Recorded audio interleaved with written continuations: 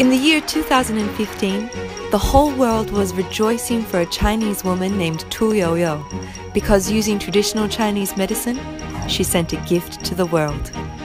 At the Nobel Prize Awards ceremony where she received the Nobel Prize in Physiology and Medicine, Tu Youyou addressed the world. Traditional Chinese medicine is a vast treasure house. We really ought to fully explore and improve. Artemisinin, an anti-malaria naturally occurring chemical, was discovered through information from this treasure house. From her research experience with artemisinin, she fully realized both traditional Chinese medicine and modern Western medicine have their own unique strong points, and when the two are combined in a way that complements the other, a whole new range of potential and a promising future is opened. Traditional Chinese medicine, TCM, has a history stretching back some 3,000 years. TCM follows the ancient principles of yin and yang, believing that people's existence, growth, behavior, and death are inseparable from nature.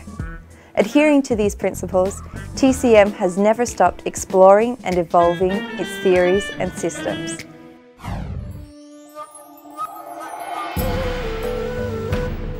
Over the gradual progression of these thousands of years, traditional Chinese medicine never forgot its principles of adhering to the laws of nature, revering life, balancing yin and yang, and bringing unification.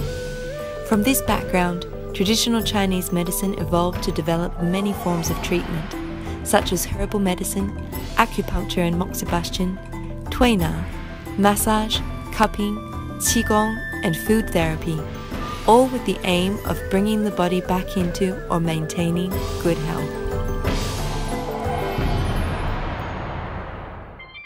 Have you heard of TCM, traditional Chinese medicine? No, Yes, of course. Not really, no. Yes, I, I heard about it. Yes, of course. But I never tried it. I've heard something, but I am not familiar with it. Yeah, it works. It works. No. You tried it before? Yeah, in my country. Would you be interested in trying it yourself? Yes, myself. Actually, the first time I came here, the doctors gave me the uh, Chinese medicine.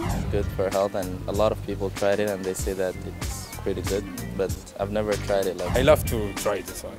I want to try it.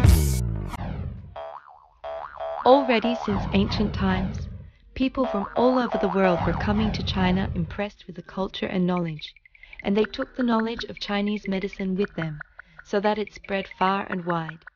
Now in present times, traditional Chinese medicine has spread to 183 countries and districts, with 103 countries already recognizing the use of acupuncture, and hundreds of TCM schools spread in over 30 countries. At the same time as influencing the whole world, traditional Chinese medicine, with the aid of modern technology, has continued to develop and expand.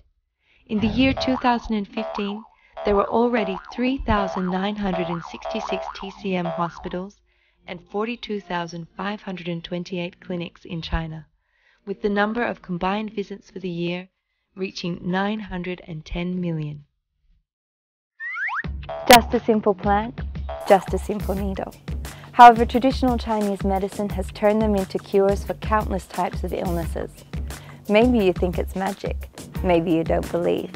Whatever you do think, TCM has lasted some 3,000 years and spread over a vast land. It wouldn't have without a reason.